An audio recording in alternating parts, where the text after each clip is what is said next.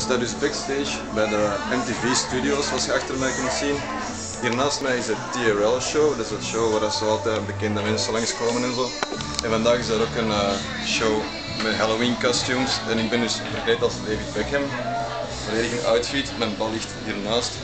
En ik heb dus ook een vrouw, eh, Posh Spice. En Miss Universe is er ook en Donald Trump. En uh, say hi. Oh, This is my wife. video?